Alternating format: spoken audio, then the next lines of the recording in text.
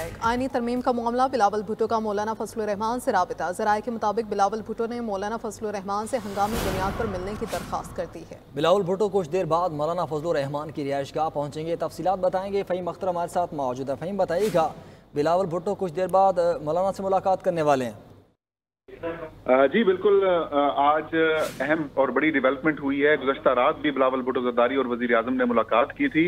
और अब से कुछ देर पहले बिलावल भुट्टो जरदारी ने मौलाना फजल रहमान से टेलीफोनिक रबता किया है और उन्होंने एक बार फिर हंगामी बुनियादों के ऊपर मिलने की ख्वाहिश का इजहार किया है।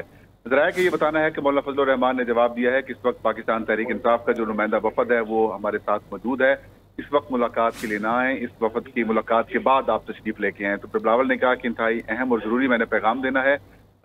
जब मैं आऊँ तो पीटीआई के साथ जो आपकी मुलाकात चल रही है, उसमें कुछ देर वक्फा किया जाए। और उसके बाद मैं रवाना हो जाऊँगा। तो मौलाना फजल रहमान इस बात पर रजामंद हो गए हैं और अब से कुछ देर बाद बिलावल भुटो जरदारी मौलाना फजल रहमान से मुलाकात करने आएँगे। और आइनी तरमीम से मुतालिक जो उन्होंने अपनी पार्टी के साथ मुशावरत की है, जो उन्होंने सदर पाकिस्तान आसिफ अली जरदारी से मुशावरत की है, इस हवाले से बिलावल भुटो मौलाना फजल रहमान को अहम पैगाम देंगे। तो फ़हीम, कुछ पता चल सका वो अहम पैगाम क्या है? और इससे पहले जो पी टी आई से मुलाकात जारी थी, वो अभी जारी है?